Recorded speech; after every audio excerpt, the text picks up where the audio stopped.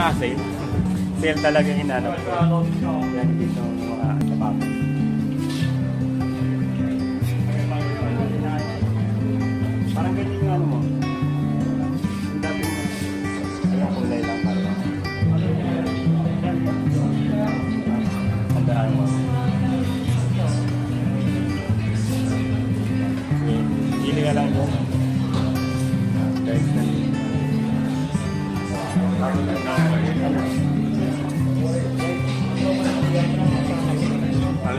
Sila ng sapatos. Hindi na kailangan mag-YouTube dyan eh. Dami siya yan. Yan o.